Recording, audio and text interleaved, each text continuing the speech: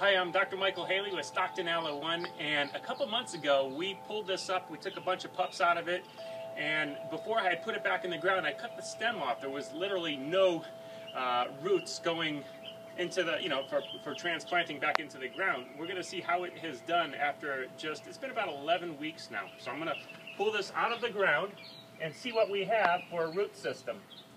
Now, it's already pretty tough to pull, and you can see everything's coming up. It's not just that little stem that we had.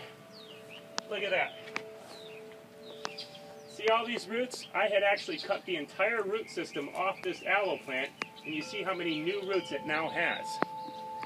Uh, go ahead, take a look back at that last video. See, if I put it back in the ground like this, I have all of that extra root. It's going to be a little unbalanced. I'm just going to get rid of this whole root system.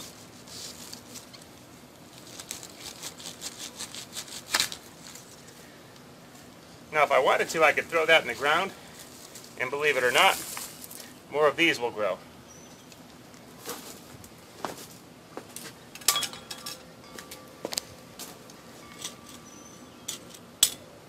And I'm going to take my plant and just drop it there. Let me drop it a little straighter than that.